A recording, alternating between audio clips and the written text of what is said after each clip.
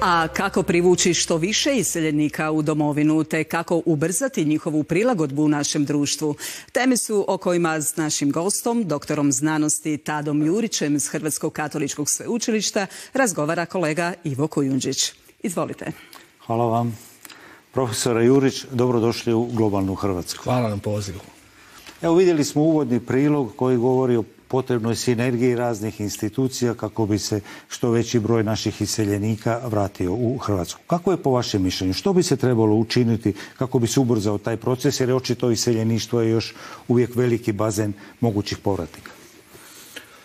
Dakle, najvažnija e, točka je zapravo ili potez je učinjen, to je formiranje Ministarstva demografije i useljeništva koliko god se možda sad na prvu ne čini da je to velika stvar, ako analiziramo hrvatsku politiku i odnos prema demografiji, to je veliki iskorak. Ministarstvo demografije je već krenulo s određenim mjerama privlačenja iseljeništva, odnosno to će onda biti hrvatsko useljeništvo. E, fokus je na studentima zapravo. Znači, prema vašem mišljenju, mlade generacije su te prema kojima bi se trebalo okrenuti? Mislim da se u javnosti pogrešno stvorila slika da će se sada privlačiti nekakvi politički emigranti i tako dalje. Ne.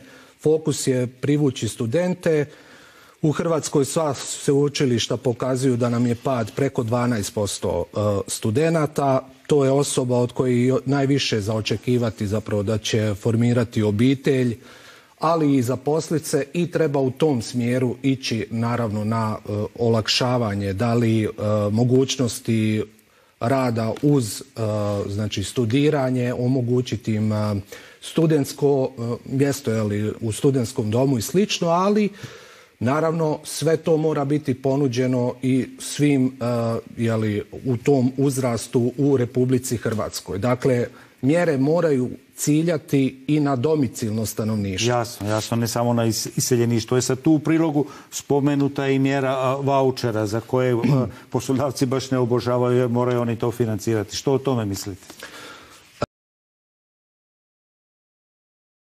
taj aspekt sada dodiruje drugu temu, to su radne migracije. E, dakle, e, mi imamo situaciju gdje zapravo poslodavci e, imaju profit od useljavanja, dok mi zapravo predlažemo da trebaju uplaćivati u integracijski fond za integraciju. Na primjer, po radniku 500 eura, budući da sada godišnje na taj način dakle i štitimo zapravo domaću radnu snagu budući da useljavanje strane jeli, radne snage potiče daljnje iseljavanje hrvatskih građana jer je riječ zapravo da se migracije koriste kao zapravo sredstvo gušenja cijene rada. To je sva suština, to smo vidjeli od zemalja bogate imigracijske prošlosti Njemačka je prva to uvela i Hrvatska danas samo ponavlja taj model.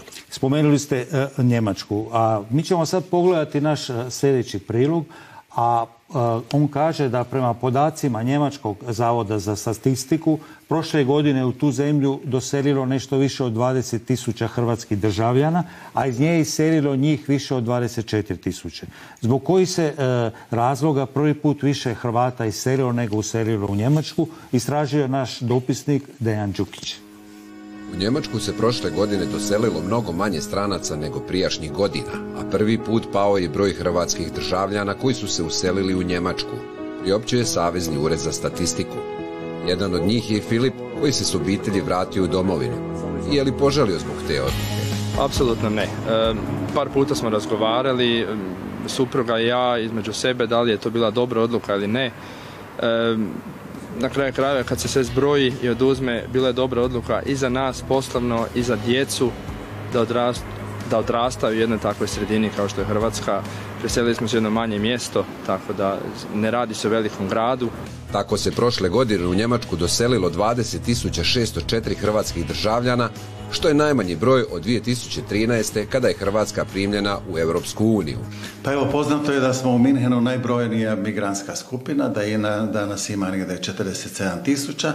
Međutim, prošle godine krajem je došla nova statistika gdje se pokazalo da je negdje 792 oko 800 Hrvata manje u gradu Minhen.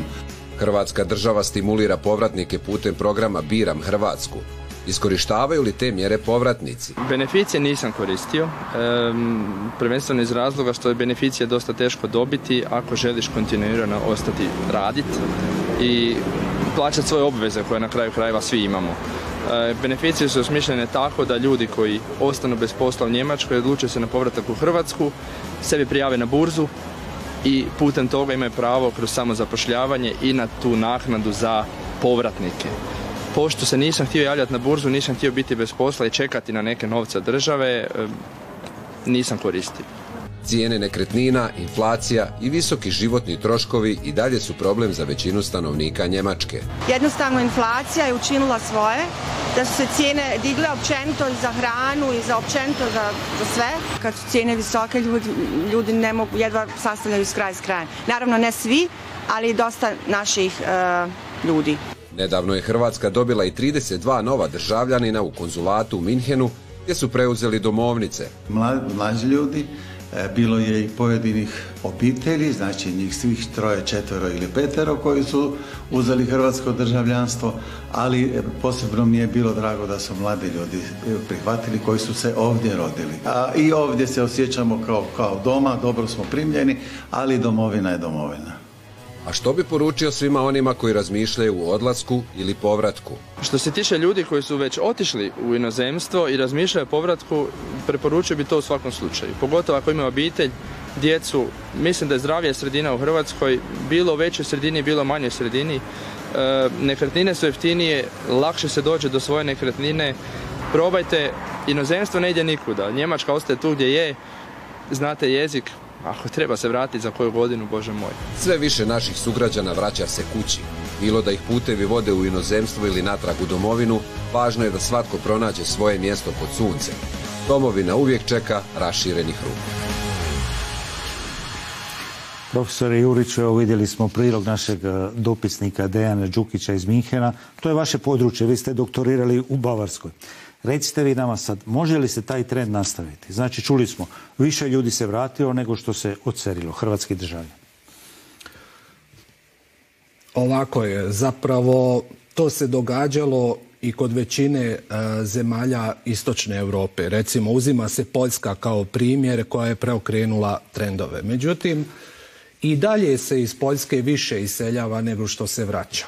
Što se tiče Hrvatske, nadu treba buditi, međutim ovdje treba prvo uzeti u obzir da je ovdje riječ prvenstveno o gastarbajterima.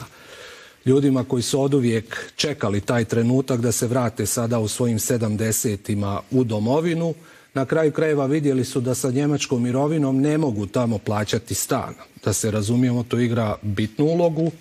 E, naime, kontingent naše e, radne snage koje je mogao iseliti je odselio to utječe naprosto na manju brojku doseljavanja u Njemačku. Što se tiče ulaska u Republiku Hrvatsku, slika je sljedeća. Vraća se deset tisuća svega s hrvatskim državljanstvom. Svaki dan uh, u Hrvatsku useli 500 ljudi iz trećih zemalja. Iz državljanstva, naravno. Tako, iz trećih zemalja, znači, uh, a iseli svaki dan 110 Hrvata. Zatim vrati se svega 27 Hrvata umre 147, rodi se 90. Znači, to je jednostavna matematika koja pokazuje da mi, recimo, još što je bitno kad o Njemačkoj govorimo, Njemačka uvozi jednu trećinu visoko obrazovanih, Hrvatska ispod 1%. Hrvatska uvozi 25 puta više u relativnom omjeru radnika iz trećih zemalja nego Njemačka. Znači mi imamo zapravo najmanje selektivnu useljeničku politiku. Ako sam vas dobro razumio, znači mi trebamo isto selektivnu uh, useljeničku politiku voditi, odnosno birati visoko kvalificirane ljude. Ne e, samo nužno, nego dakle riječ je o tome da smo vidjeli što se dogodilo u zapadnoj Europi. Ovdje ne treba velika mudrost. Vidimo da zemlje sa bogatom imigracijskom prošlosti su sve zapele na imigraciji. Tu se lomi i politika i društvo. Sva se društva polariziraju i mi trebamo poučeni tim iskustvima sljedeće napraviti. Spriječiti getoizaciju, potaknuti integraciju čim prije U tu svrhu smo izradili recimo integracijski priručnik i programe. Mi smo se ovdje pogrešno fokusirali na ilegalne migracije. Uvijek se govori one su problem. A zapravo struktura stanovništva se mijenja kroz radne migracije. U Europu, u Europsku uniju vam svake godine useli 5 milijuna građana trećih zemalja, što je više od prosjeka jednog europskog naroda. Znači u Europu useljava cijeli narod svake godine. Ajmo se mi vratiti e, e, na Hrvatsku. Hrvatska je imala godinama jednu konzervativnu e, politiku, rekli bismo, prema imigracijama, prema useljavanju i tako je. Je li nama dovoljno okrenuti se samo prema našem iseljeništvu ili moramo gledati još iz trećih zemalja potencijalne radne snage, posebno visoko obrazovanje? Mi smo zapravo imali najliberalniju politiku useljavanja od cijele Europske unije. To je daleko od konzervativne politike. Sada je, znači, naša sreća da je stvoreno, da je politička volja pokazana. Pazite, od 2000. demografija je potpuno gurnuta u stranu i ona se koristila samo za uh, politika ju je koristila za instrumentalizaciju, jel, odnosno u političke svrhe je koristila sve do evo sada kad je formirano ministarstvo demografiju ništva i ministar Šipić pokazuje zaista političku volju, a politička volja je ključan zapravo ključna demografska mjera. Htio sam reći da u Hrvatskoj se nisu dale e, otvorenih ruku veliki broj useljeničkih dozvola za ljude iz trećih zemalja. To tek u zadnje vrijeme primjećujemo pod velikim pritiskom kapitala, ako sam dobro razumio. E, dakle, mi jesmo što se tiče ilegalnih migracija se postavili, ajmo reći, ajmo reći sa zabrinutošću. Međutim, radne migracije smo potpuno propustili bez iskazivanja zabrinutosti. Naime, migracije nisu samo ekonomsko pitanje. Migracije u početku su samo ekonomsko, ali vrlo brzo postaju sigurnosno, identitetsko pitanje, vode ka e, padu povjerenja u društvu vode ka rastu nekretnina, cijene, nekretnina, a i nacionalna struktura stanovništva se I padu standarda. Znači, to su sve studije jasno pokazale. Dakle, vrlo oprezno treba prema migracijama, znači se obhoditi, pokazati dužnu zabrinutost i na kraju krajeva ne treba ismijavati hrvatski narod koji u migracijama vidi problem u zaštiti vlastite tradicije i kulture. Naime, naša povijest sva je upravo strah od asimilacije od strane drugih. Zato ne treba ismijavati naprosto i apeliram da treba otvoriti i jednu stranu i više ovakvih emisija i generalno javnih tribina koje bi problematizirale znači ovu tektonsku društvenu promjenu kojoj upravo svjedočimo. Profesore Juriću, hvala vam na potpori našoj emisiji Globalna Hrvatska koja se u kontinuitetu bavi ovim pitanjima. Također hvala vam i na dolasku u naš studij. Naravno, hvala vam na pozivu.